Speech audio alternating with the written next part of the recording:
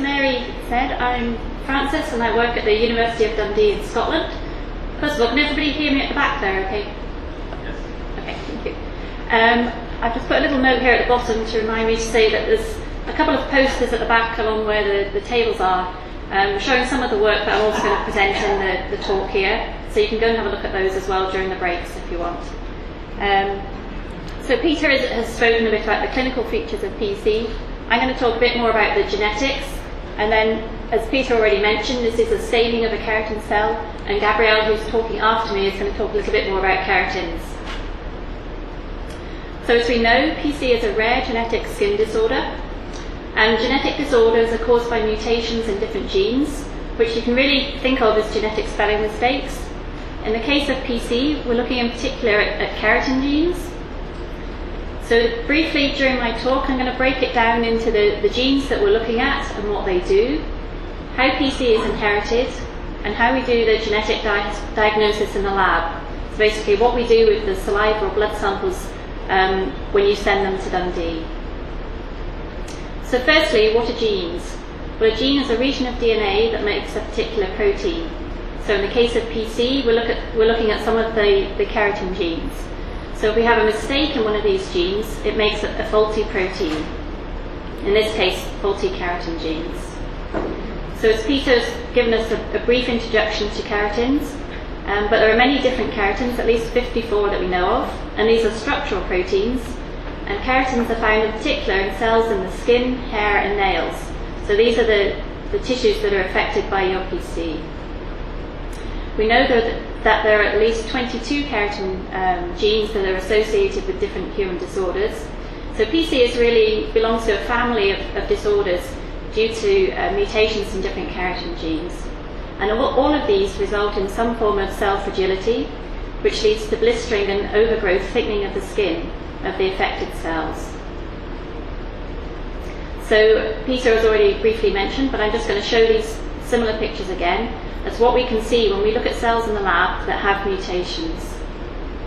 So here again we have, these are cells, so some of you have had biopsies taken maybe from your, your skin, and in the lab we can grow these cells in culture and then look at them in more detail. So if we stain them with particular stains to the keratins, we see this nice network of filaments. Whereas if there is an abnormality or a mutation in one of these cells, then we get this keratin clumping and very few filaments, and this is what gives rise to the fragile cells. So for PC in particular, we're looking at um, five keratin genes. Keratin 6A, 6B, 16 and 17 have been known to cause PC for a number of years now. More recently, during the last few years, um, with completion of the human gene, sequencing of the human genome, it was confirmed that there was a third keratin 6 gene, keratin 6C, and we've now looked at this gene in a number of families where we didn't find mutations in the other genes that we knew were associated with PC, and have found mutations in, in keratin 6C. So far, we've only found mutations in, four, in three families, and another group has identified a, a fourth family.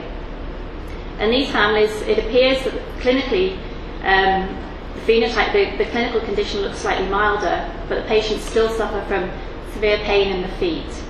Um, but the numbers are very small so far, so we expect that we may find further families with mutations in keratin 6C.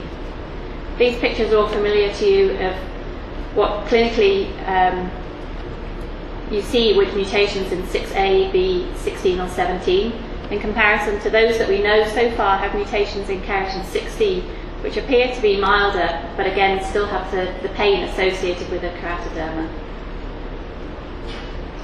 So moving now on to how PC is inherited.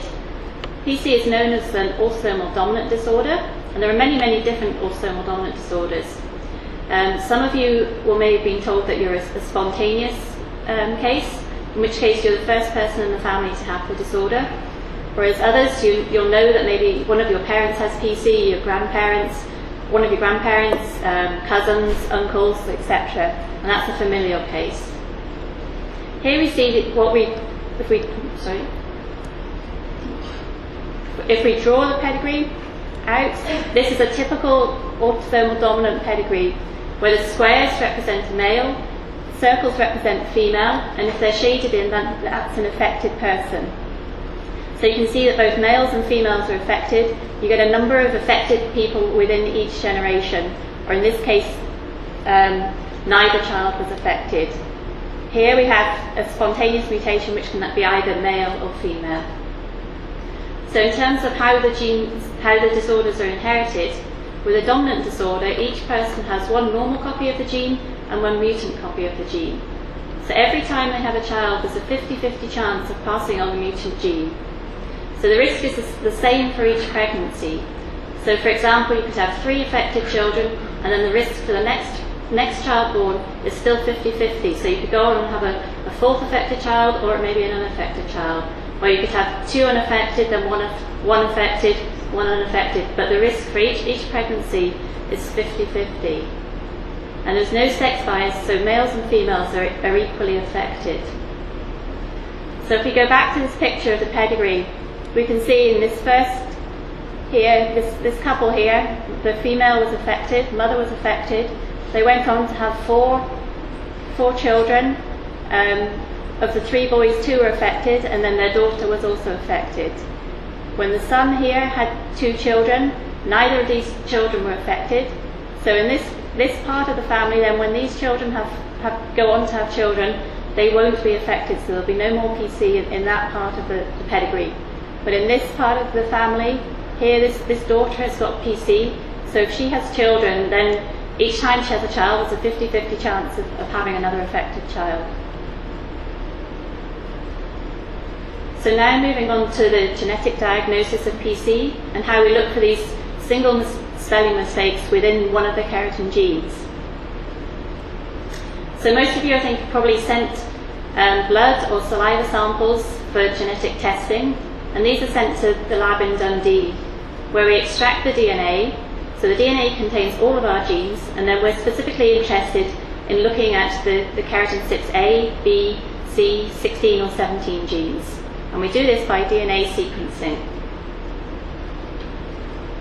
So we, once we've extracted the DNA, we take a very small amount of this, this DNA and then amplify it up to make lots of the particular genes that we're interested in so we can examine them in more detail. I've just got a few slides to show you the types of equipment that we use in the lab and the very small volumes of the samples that we deal with. So this is a um, just to show you that we're dealing with tiny, tiny volumes, and it's shown in blue here just to, to colour it so you can see it. Um, but the, the, volumes we deal with are, are, like the size of a, the end of a, a pen, really. Um, and then so we, we set up lots of reactions. We have lots of tubes, as you can see in, in the rack, racks here, um, to amplify up each, each different gene. These then go into these special machines here to heat and cool them to make lots of it, and this takes several hours. And many of the bits of equipment that we use in the lab are very specialised. They look very boring because they're just kind of square square boxes, but there's a lot of, um, that are worth lots of money, but they're very specialised and do very specific specific things. So during this reaction, it will make a lot of the, say, K6 or 6A or 6B gene, and then we do a further round of reactions to do the actual DNA sequencing. This is Neil sitting in his bench here in the lab. He's the guy who actually does all the does all the genetic testing, and you can see various bits of equipment. This is sort of typical lab bench with, with different things that he's using here. This is a, a DNA sequencing machine. So the samples are loaded onto this machine, and then we get a printout which shows us your actual DNA trace. And that's what we look at to look for the, the genetic spelling mistake. So on the computer screen, we see a, a printout like this, lots of lots of different colours basically, and then each one of these tracks represents one of our sequencing reactions. From this, we can't really really tell anything. So then we get a further printout here, and we get several of these for each of the genes that we're, we're looking at. And then if we zoom in and look at this in more detail, we can decode the, the DNA sequence. So on these, these DNA sequence traces, this gives us the, the DNA sequence, and this is color coded really just for ease of reading for us. And as I mentioned before, the, um, you have two copies of the gene. So in this printout, this represents both copies. So here we've got two copies in each of these peaks. And if they're the same, then they're, they're superimposed on top of each other, so you just see it as one peak. And so we're really looking for, for differences in these traces, as shown here. So this is the sort of thing we're looking at. So we look through pages of these things for each gene, looking for differences that we might find, such as this, where you've got two peaks on top of each other. And then really what we have to do is, is decode it and see whether it's actually going to make a change um, to the specific gene that we're looking at and whether where the mutation is would cause would be disruptive to the function of that particular gene. So this four-letter DNA code spells out spelling, uh, spells out instructions to make the protein sequence. And you don't really need to worry about this too much, but I'm just going through it a bit in detail because I know you, you've all been given your specific mutations, and you maybe wonder what this what this actually means.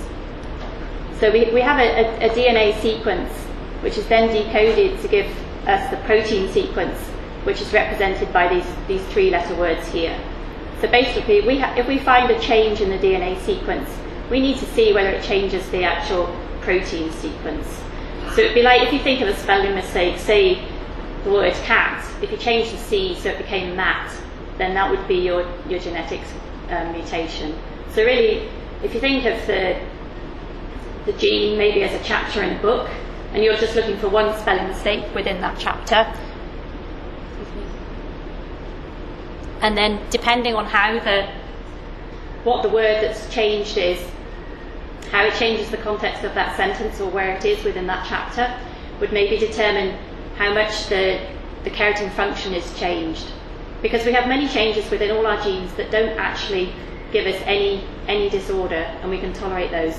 But in certain proteins, for example, as in the keratins, where the mutation occurs, um, will really affect the function of the protein, and then that's what gives rise to a clinical condition.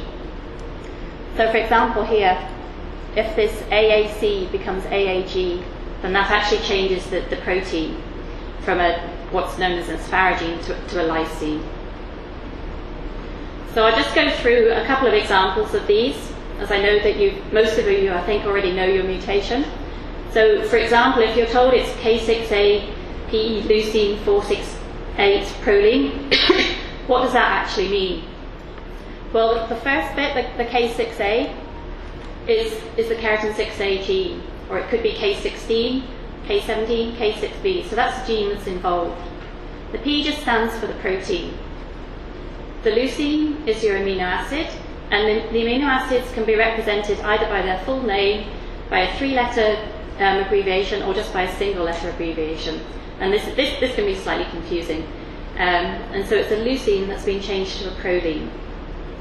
And at the, the DNA level here, that's the, it changes from a, a CTG to a, a CCG. And then the position of the amino acid within the keratin protein is, is number 468. And I'll show this in a, in a slide in a minute. Some of you maybe have a different type of mutation where maybe one amino acid has actually been deleted or inserted. Um, and this is represented here. So again, the, the K6A is the K6A gene. The, the amino acid, or the protein amino acid that's been changed is the asparagine. And the DEL stands for deletion, and it's number 172 that's been deleted. Here we have a, a schematic diagram of, of a, a, keratin, and it's divided into different regions. And there's been a number of studies over the years um, looking at different regions and what their function might be, and how they are, how important they are in cells, in giving the cells uh, the, the, structure that they need. And we know now that the the red, what I've marked in red at either end of the here at the rod domain, these regions are particularly important um, when filaments form and to, during the, for the structure. And so if you have a change within one of these regions, then this will be particularly disruptive to the, the nice network of filaments that we see. And this is in fact where most of the, the PC mutations occur, as shown here. So 172, so if you think of this as the, the protein sequence, and it's just numbered 1 to, it's, it's about 500, so most of you, either your mutations are probably around 100 and something or 400 and something. And that's because they occur in these regions here. And we know these are, are very important regions for the functioning of the filaments. So if you have a mutation here, then that causes collapse of your scaffolding, resulting in the fragile cells. And so these are the regions that we call the hotspot regions. And the, these are the regions that we screen for mutations first. If we don't find a, a mutation within one of these regions, then we go on to fully sequence all the rest of all the five genes that are associated with PC. In some cases, we still don't manage to find a mutation, and so then we have to consider other disorders that clinically look very similar to PC, but are caused by mutations in, in several other genes. This schematic diagram here shows all the mutations that we've identified in PC families that are registered with PC Project. So now we have more than 75 different keratin mutations.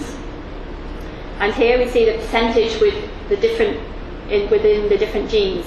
So we can see that nearly 50% of the mutations are found in keratin 6A, about a quarter in keratin 16, a bit less than a quarter in keratin 17, about an eighth in um, keratin 6B, K6C, we only have actually one family registered with PC Project. The others, the other three families aren't actually registered with PC Project at the moment. And we have a number of families in which we still haven't been able to find a mutation. Um, some of these look slightly different um, clinically from, from typical PC. Um, and, and, this trend of the, almost half the mutations occurring in K6A and about a quarter in 16 and 17 seems to be fairly consistent as we increase the number of families that we're looking at we still seem to see this, this general trend. So I'd just like to end there. This is a picture of Dundee taken across the, the River Tay. Um, we're based in this, this white block here. This is a huge complex um, life sciences building. Um, now, actually, if you go to Dundee, you don't see this, the skyline change dramatically um, last weekend when these was a, there's another tower block here. These four tower blocks were um, demolished in a spectacular explosion. I mean, it was planned. It was the old ones that are coming down. But if you look on the BBC website, you can see them all come down in, one go. So uh, yes, you won't be able to take a picture like that any longer. and um, can either take questions now, or we can do it at the end of the session, whatever is easiest. Do you want to just carry on, Mary?